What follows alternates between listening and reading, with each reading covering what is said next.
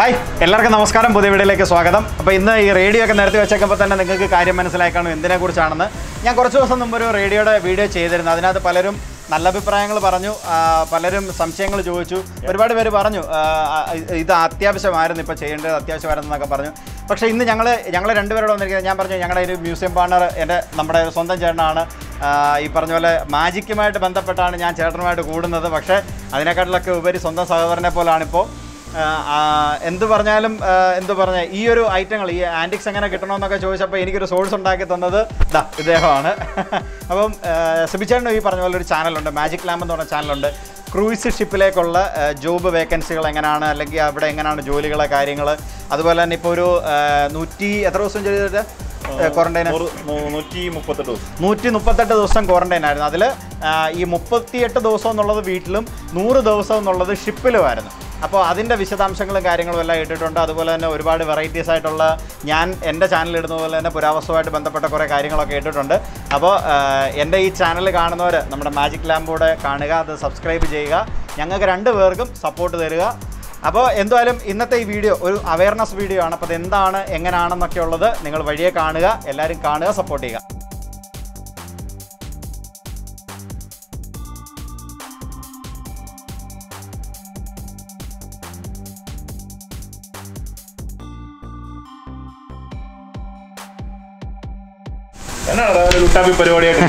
ഒന്നും പറയണ്ട. റേഡിയോ അല്ലേ നിന്നോട് പറഞ്ഞു വെച്ചേക്കും ചേട്ടൻ അറിഞ്ഞില്ലേ? കുറച്ച് ദിവസം കണ്ട് എനിക്ക് ഇരിക്കപ്പുറതിയിൽ എന്റെ പുന്നേട്ടാ റേഡിയോ വിളി റേഡിയോ വിളി റേഡിയോ ഉണ്ടോ? ആദ്യം വർക്ക് ചെയ്യുന്നില്ലടാ. ചേട്ടാ വർക്ക് ചെയ്യണ്ട. വർക്ക് ചെയ്യാത്ത റേഡിയോ നമ്മൾ കളക്ഷൻ വെച്ചിരിക്കുന്നതല്ലേ? ഇതെല്ലാം എന്തിനു പറഞ്ഞു ചേട്ടാ ഞാനും ഇത് രണ്ടെണ്ണം എന്റെ അല്ലയോ? ഞാനും കളക്ഷൻ ഇതൊന്നും കളയല്ലേ? നമുക്ക് ആ ഒരു പഴമയുടെ കൂടി വെക്കാൻ ഇത് പോലീസ് ഒന്നും ചെയ്യില്ല ദൈവത്തെ ഓർക്കുന്നു ചേട്ടാ അതിനല്ല ചേട്ടാ? പിന്നെ? ഒരുത്തൻ വിളിയോടെ വിളിയാ. ഇതിനകത്ത് മെർക്കുറി ഏതാണ്ട് ഉണ്ടെന്നോ എന്താ ലോക തോൽവികളാടാ ഇഷ്ടം പോലെ ഇറങ്ങിയിട്ടുണ്ടെന്ന്. ഞാൻ ഓ എൽ എക്സിൽ ഒരു റേഡിയോ കിട്ടും ഒരെണ്ണം എനിക്ക് കിട്ടി. പൊളിഞ്ഞ ഒരെണ്ണം കിട്ടി. ഓ എൽ എക്സ് കിട്ടും ഒരു നൂറ് കോൾ വന്നാണ് ഒരു ദിവസം. റേഡിയോ ഉണ്ട് ഞാൻ പറഞ്ഞ റേഡിയോ ഉണ്ട് കൊടുക്കാൻ ഇതിരിക്കുന്ന പലതും നമുക്ക് ആവശ്യമില്ലാത്ത. ഇതിലോട് വെക്കാൻ സ്ഥലമില്ല. ഈ തട്ട് മൊത്തം നിറഞ്ഞു ആ തട്ട് മൊത്തം നിറഞ്ഞു. നമ്മൾ ഈ സാധനങ്ങൾ എവിടോട്ടാ ഇറക്കി വെക്കുന്നത് ഞാനിത് അല്ലാതെ വാങ്ങിച്ച ചേട്ടാ. ഞാനിത് വാങ്ങിച്ച് ഞാൻ കഴിഞ്ഞ ദിവസം ഒരു വീഡിയോ ചെയ്തപ്പോൾ ഞാൻ ആ അതിന്റെ ഫ്രണ്ട് വെച്ചിട്ട് ഞാൻ ആ വീഡിയോ ചെയ്തു. വീഡിയോ ചെയ്ത് കഴിഞ്ഞാൽ പിന്നെ എനിക്ക് മൊത്തം കോളാ. വിളിയോടെ വിളി എടാ റെഡ് മെർക്കുറി എന്ന് പറഞ്ഞ ഒരു സാധനം ലോകത്തിലുണ്ട് പക്ഷെ അത് ഈ റേഡിയോക്കകത്തില്ല ഇത് ഈ പോഷന്മാരെന്ന് ഇത് അത് മാത്രം റേഡിയോ ഒക്കെ പോയി. റേഡിയോ തുടക്കത്തിലായിരുന്നു. ഇപ്പൊ ടി വി ആയി കറക്കുന്ന ഫോൺ ആയിട്ടുണ്ട് അപ്പൊ ഈ- വിളിച്ചവരോട് പറഞ്ഞു പറഞ്ഞ് ഞാൻ മടുത്ത. ഞാൻ അവസാനം പറഞ്ഞു എന്തായാലും നമ്മുടെ ഒരെണ്ണം കൊടുക്കാം. അങ്ങനെ ഉള്ളവന്മാർ ഇങ്ങോട്ട് വരത്തില്ല. കാരണം ഇതെല്ലാം ഈ പിന്നീട് എന്തെങ്കിലും കൊണ്ടിട്ട് നമ്മളതിന്റെ പുറകെ നടക്കേണ്ടി വരും. അതാണ് പ്രശ്നം. അല്ല ഈ വരുന്ന വരുന്നവൻ അതിനെക്കാട്ടി രസമാണ് ഈ പറഞ്ഞ പോലെ അവന്റെ വീടിനകത്ത് നിന്ന് മഴ പെയ്താൽ വീടിന് പുറത്തിറങ്ങി നിൽക്കണം. കാരണം അകത്ത് നിന്നാ കൂടുതൽ നനയും. എന്തോ ചെയ്യാ? എന്തോ ആയാലും ഞാൻ വിചാരിച്ചു പാരട്ടെ. വന്നിട്ട് ഈ കാര്യം നമുക്ക് നമുക്കുള്ളത് പറയാം. ഉള്ളത് പറഞ്ഞിട്ട് എന്തോന്ന് വെച്ചാൽ നമുക്ക് ചെയ്യാം. മെനക്കെട്ട പണിയാ. നമ്മൾ ആ സമയത്ത് വേറെ എന്തെങ്കിലും ചെയ്താൽ മെനക്കെട്ട പണി എന്താ പറഞ്ഞിട്ട് കാര്യമില്ലല്ലോ. പറഞ്ഞ് മനസ്സിലാ മനസ്സിലാവുന്നതിനോട് കൊടുക്കാനൊന്നുമല്ല. ഈ ഇതൊക്കെ നമുക്ക് കളക്ഷൻ സ്കൂളുകളിലൊക്കെ അല്ല ഇത് കളക്ഷൻ ഉള്ളതാ പിന്നെ ഈ വലുത് കളക്ഷൻ ഉള്ളതാ കുറ്റി വാൽവറേഡി ഇത് നമുക്ക് ബായ്ക്കൊന്നും ഇല്ലാത്ത ഇത് ചേട്ടൻ എന്നോട് പറഞ്ഞിട്ട് ഒരാൾ വാടക ഒരെണ്ണം കൊണ്ടുപോയിരുന്നു റെന്റിന്. അതവിടെ കൊണ്ടിട്ടുണ്ടല്ലോ കൊണ്ട് കണ്ടില്ലേ അത്? അത് അവൻ വരുമ്പോ ഒന്ന് കാണിച്ചു കൊടുക്കാം അത് കാണിച്ചു കൊടുക്കുക കൊടുക്കാം വാടകയ്ക്ക് എടുത്തോണ്ട് ഈ മേലെ ഞാൻ പറഞ്ഞു ഇവിടെ ഒരു സാധനം നമ്മൾ വാടക കൊടുക്കുന്നേ ഇല്ല. ഒരുത്തൻ കൊണ്ടുപോയി ഷൂട്ട് ഉണ്ടാക്കാനാന്ന് പറഞ്ഞ് കൊണ്ടുപോയിട്ട് തിരിച്ച് പൊടിയായിട്ട് കൊണ്ടിട്ടിട്ട് പോകും ആ കൊണ്ടിട്ടിട്ടുണ്ട്. ചോദിച്ചെണ്ണ കൈമാറത്തുക ഞാൻ എന്തോ ചെയ്യാൻ ആ ഷൂട്ടിന്റെ ഇടയ്ക്ക് താഴെ ഇത് ഇവിടെ കളക്ട് ചെയ്ത് വെച്ചിരിക്കുന്നു. ഇപ്പൊ സ്കൂളൊക്കെ അവധിയായിരുന്നു നമുക്ക് എക്സിബിഷനും കാര്യങ്ങളൊന്നും ഇല്ല. എന്ന് പറഞ്ഞ് നമുക്ക് സാധനം ഒന്നും വിൽക്കേണ്ട കാര്യമില്ല. എന്തോ എന്തായാലും കൊള്ളാം. എന്തായാലും അവൻ വന്നിട്ട് പോട്ടെന്ന് ഞാൻ വിചാരിച്ചു. അല്ലാതെ ഇപ്പൊ എന്തോ ചെയ്യാൻ എന്തായാലും നമുക്ക് നോക്കാം. അപ്പോൾ ഇതൊക്കെയാണ് ഇവിടെ നടന്നുകൊണ്ടിരിക്കുന്നത്. ഇപ്പം ഞങ്ങൾ തമ്മിലുള്ള ഒരു കോൺവെർസേഷൻ എന്തുകൊണ്ട് ചെയ്തു എന്ന് വെച്ചാൽ ഇത് ദിവസവും വിളിയാണ്. ദിവസവും ദിവസവും വിളിയാണ്. ദിവസം എന്ന് പറഞ്ഞാൽ ഞങ്ങൾ ഈ സ്ഥാപനം നാല് വർഷമായിട്ട് ഇവിടെ ഉണ്ട്. അപ്പോൾ എല്ലാവർക്കും അറിയാം നമ്മുടെ അത്യാവശ്യം ഈ കളക്ടബിൾസ് പുരാവസ്തുക്കളൊക്കെ ഉണ്ടെന്നറിയാം. അപ്പോൾ അതുകൊണ്ട് തന്നെ ശല്യമാണ്. ഇങ്ങോട്ട് ആരും വരണ്ട. ഞങ്ങൾ താഴെ ലോക്ക് ചെയ്തിട്ടിരിക്കുക കാരണം ഇങ്ങോട്ട് ഞങ്ങൾ ഇവിടെ സാധനങ്ങൾ എടുത്തൊന്ന് പൊടി കളഞ്ഞ് വെക്കുന്ന പരിപാടി മാത്രമേ ഉള്ളൂ. ഇവിടെ ആരും കയറുന്നില്ല കഴിഞ്ഞ നാല് മാസമായിട്ട് ഇത് അടച്ചിട്ടിരിക്കുകയാണ്. അപ്പോൾ ഇവിടെ ആരും കയറുന്നില്ല പക്ഷേ ഈ നമുക്ക് ഈ ഫോൺ വിളികൾ ഫോൺ വിളികൾ ഫോൺ വിളികൾ ബഹളമാണ്. ഇപ്പോൾ ഇവനെ ഇന്നലെ ഒരാൾ വിളിച്ചിട്ട് ചോദിച്ചു ഇന്ന പോലെ ഒരു റേഡിയോ വേണം ഞങ്ങൾ പറഞ്ഞ റേഡിയോ കുറച്ച് പഴയ തിരിപ്പുണ്ട്. അപ്പോൾ ഇത് ആർക്ക് വേണ്ടി എന്ത് ആവശ്യം വേണ്ടി? അപ്പോൾ പറഞ്ഞ അവന് സയന്റിസ്റ്റ് ആവാൻ വേണ്ടിയിട്ട് പഠിക്കാനാണ് പോയി അപ്പോൾ അവനോട് കൂടുതൽ ചോദിച്ചാൽ പറയണം അവനല്ല അവന്റെ ഒരു വേറൊരു ചേട്ടന് വേണ്ടിയിട്ടാണ്. അവനോട് ചോദിച്ചാൽ പറയാം അവനല്ല അവന്റെ ഒരു സുഹൃത്തിന്റെ അളിയന്റെ പെങ്ങടെ മോന്റെ അമ്മായിയുടെ കുഞ്ഞമ്മയുടെ ഒരു ആൾക്ക് വേണ്ടിയിട്ടാണ്. അപ്പോൾ ഇത് ആർക്കാണെന്നറിയാതെ ഇങ്ങനെ പാവപ്പെട്ട പിള്ളേരെ ഇങ്ങനെ കുറെ ആൾക്കാർ അലച്ചോണ്ടേ ഇരിക്കുകയാണ്. ഇതിനകത്ത് എന്താണ് സത്യം എന്ന് പറയാൻ വേണ്ടിയിട്ട് അത് മാത്രമല്ല ഈ തുടങ്ങുന്നതേ നമ്മളോട് വിളിക്കുമ്പോൾ ആദ്യം പറഞ്ഞു കൊടുക്കുന്ന സി ആറിന്റെ കണക്കാണ് ആ സി ആർ സി ആർ എന്ന് പറഞ്ഞാൽ എന്താണെന്ന് അറിയാൻ വയ്യാത്തോ ഈ സി ആർ കെ എന്ന് പറഞ്ഞാൽ ആയിരം ആണെന്ന് ഇപ്പൊ ആളുകൾക്കൊക്കെ മനസ്സിലായി. മനസ്സിലായി. നമ്മൾ ഈ ചാനലിലൊക്കെ one K view one million view one M view എന്നൊക്കെ പറയുന്നതിനോട്ട് ഈ സി ആർ എന്നുള്ളത് ഇപ്പൊ കുട്ടി എല്ലാവർക്കും മനസ്സിലായി തുടങ്ങി സി ആർ എന്തോന്നുള്ളത് ഈ സി ആറിന് എത്ര പൂജ്യമാണെന്ന് ചോദിച്ചാൽ അറിയത്തില്ല.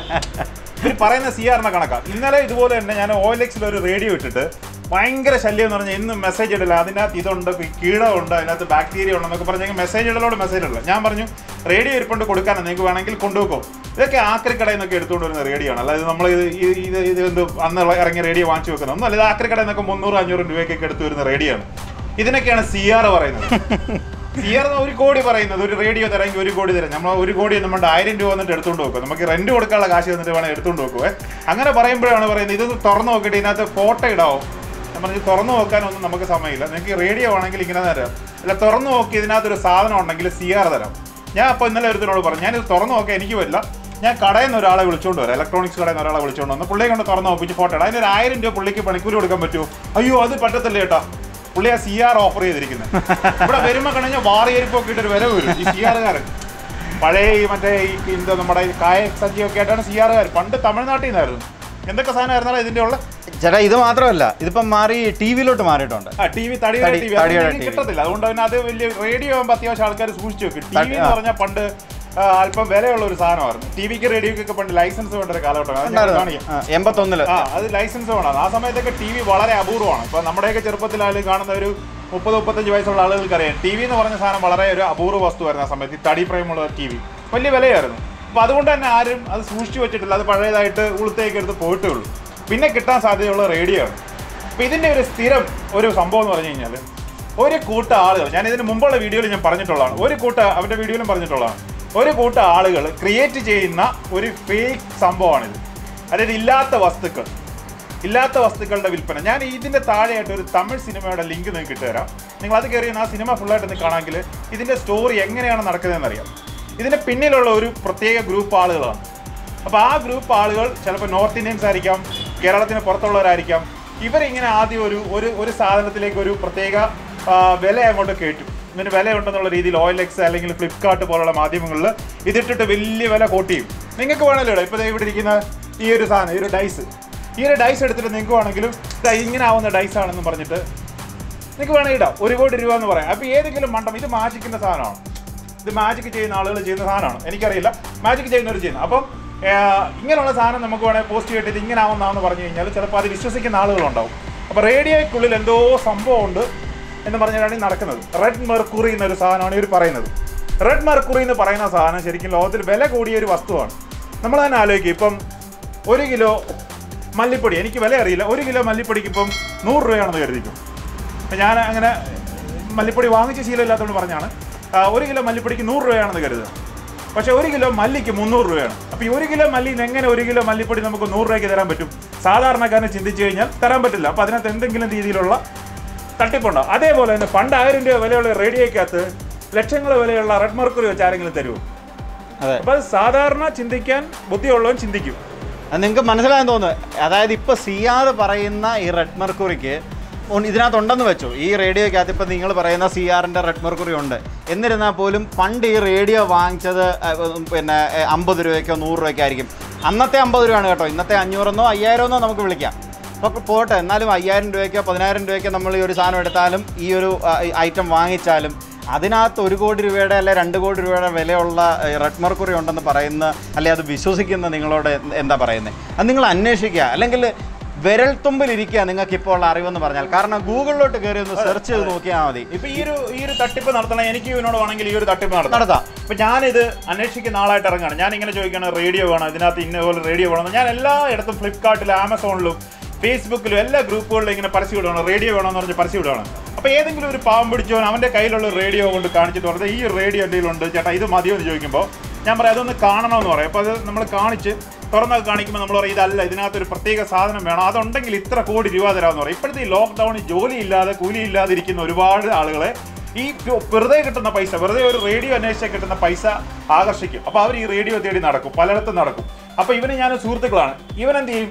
ഈ പാമ്പ് പിടിച്ചവനെ സമീപിച്ചിട്ട് എന്റെ കയ്യിൽ അങ്ങനെ റേഡിയോ ഉണ്ട്. ഞാൻ ആ റേഡിയോ തരാമെന്ന് പറയും. അപ്പോൾ അവൻ എന്ത് ചെയ്യും? ഒരു റേഡിയോ ഇപ്പോൾ ഈ ഒരു റേഡിയോ ഈ വന്ന പാവം പിടിച്ചവന് കൊടുത്തു. അവൻ തുറന്നു നോക്കി ഫോട്ടോ എനിക്കാണ് അയച്ചു തരുന്നത്. അപ്പോൾ ഞാൻ പറഞ്ഞു ഇത് ഓക്കെയാണ് ഇതിനകത്ത് സാധനമുണ്ട്. ഞാനിത് രണ്ട് കോടി രൂപയ്ക്ക് എടുത്തോളാം എന്ന് പറയണം. ഇവനെത്രയാണ് ചോദിക്കുന്നത്? രണ്ട് ലക്ഷം രൂപയാണ് ഈ റേഡിയോക്ക് ചോദിക്കുന്നത് അപ്പോൾ ഈ പാവം പിടിച്ചവൻ വന്നിരിക്കുന്നവൻ എന്താണ് കരുതുന്നത്? രണ്ട് ലക്ഷം രൂപ കൊടുത്ത രണ്ട് കോടി രൂപ കിട്ടും. ഇവൻ എവിടെന്നെങ്കിലും ഒക്കെ കടം വാങ്ങിച്ചു അവന്റെ വീട്ടിൽ എന്തെങ്കിലുമൊക്കെ കൊണ്ട് പണയം വെക്കാമെങ്കിൽ പണയം വെച്ചും ഈ രണ്ട് ലക്ഷം രൂപ കൊടുത്ത് ഈ പൊട്ട റേഡിയോ വാങ്ങിക്കും.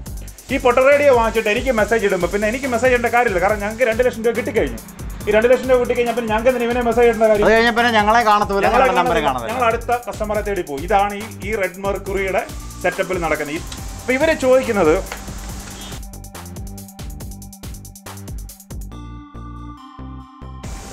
ഈ സൈസ് റേഡിയോ ആണ് നോർമലി ചോദിക്കുന്നത് വാൽവ് റേഡിയോ എന്ന് പറഞ്ഞ സാധനമാണ് ഈ ചോദിക്കുന്നത് ഇതിനകത്താണ് റെഡ് മെർക്കുറി ഉണ്ടോ റെഡ് മെർക്കുറി ഉണ്ടോ എന്ന രീതിയിൽ ഇവർ ചോദിച്ചുകൊണ്ടിരിക്കുന്നത് റെഡ് മെർക്കുറി എന്ന് പറഞ്ഞ സാധനം ഒരു റേഡിയോയിലില്ല അപ്പോൾ ഇതൊരു ഫോട്ടോ അയച്ചു തരും. ഈ റേഡിയോയിൽ റെഡ് മെർക്കുറി ഉള്ളതാണല്ലോ എന്ന് വെച്ചു.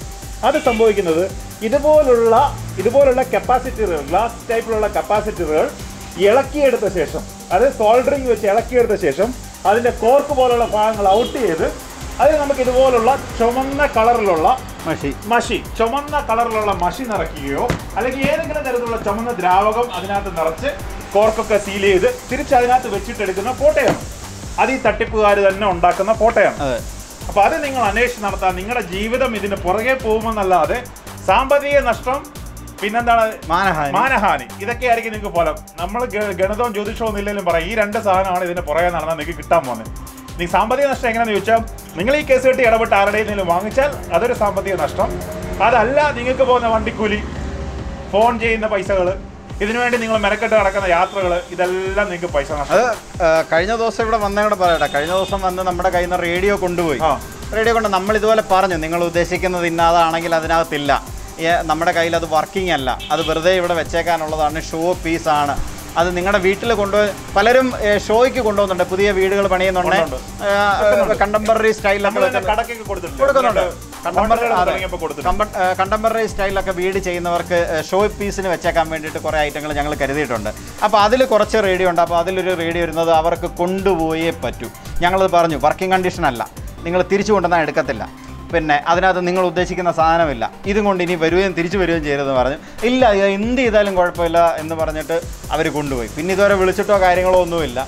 എന്തായി കാണുമെന്നുള്ളത് നിങ്ങൾക്ക് മനസ്സിലായി കാണുമല്ലോ. അത്രേ ഉള്ളൂ. അപ്പൊ ഇങ്ങനെ കറങ്ങി നടന്നുകൊണ്ടിരിക്കുകയാണ്. ഇതിങ്ങനെ ഒരാളിൽ നിന്ന് മറ്റുള്ള ആളിലേക്ക് കാരണം ഓയിലെക്സിൽ ഒരു പന്ന സാധനം ഇട്ട് കഴിയുമ്പോൾ ഒരു ഇന്നലെ ഒരു പൊട്ടിയ ഒരു ഫോൺ ഇട്ടപ്പോൾ വന്ന എൻക്വയറി കണ്ടപ്പോഴാണ് ഞാൻ. നല്ലൊരു പിക്ചർ ഇട്ടിട്ട് എന്റെ ഒരു രാജാവിന്റെ കാല രാജഭരണ കാലത്തെ ഒരു പടം ഇരിപ്പുണ്ടായിരുന്നു. ഒരു ആ ഒരു പടം ഇട്ടിട്ട് വെറും ഇരുപത്തിരണ്ട് പേര് കണ്ടെടുത്ത് ഒരു പൊട്ട ഫോൺ അതിന് വന്ന എൻക്വയറി എന്ന് പറഞ്ഞാൽ ഏകദേശം മുന്നൂറോളം എൻക്വയറിയാണ് വന്നത്. അതിന് വന്നത് വെറും ഒരു കറുത്ത പഴയ ബി എസ് എൻ എല്ലിന്റെ പഴയ ഒരു ഫോൺ ഇട്ടിട്ട് വന്ന എൻക്വയറിയാണ് ഈ പറഞ്ഞ മുന്നൂറോളം എൻക്വയറി വന്നത്. അപ്പോൾ അങ്ങനെയുള്ള ഒരു കാലമാണ് ഇപ്പോൾ നടന്നുകൊണ്ടിരിക്കുന്നത്. നിങ്ങൾ തീർച്ചയായിട്ടും ഇങ്ങനെയുള്ള കാര്യങ്ങളിൽ നിന്ന് മാറി നിൽക്കുക. ആരും ആർക്കും ചുമ്മാതെ പൈസ തരില്ല. കഷ്ടപ്പെട്ട് ജോലി ചെയ്തെങ്കിൽ മാത്രമേ പൈസ കിട്ടുമെന്ന് മാത്രം കരുതുക. ഇപ്പോൾ എന്റെ പ്രിയപ്പെട്ട പ്രേക്ഷകരോടും പ്രിയപ്പെട്ട അനുജന്മാരോടും ചേട്ടന്മാരോടും ഒക്കെ പറയാനുള്ളതാണ്. ഇതിന്റെ പുറകെ നടന്നാൽ നിങ്ങളുടെ ജീവിതം കളയരുത്. അപ്പോൾ എല്ലാവർക്കും നന്ദി. നമസ്കാരം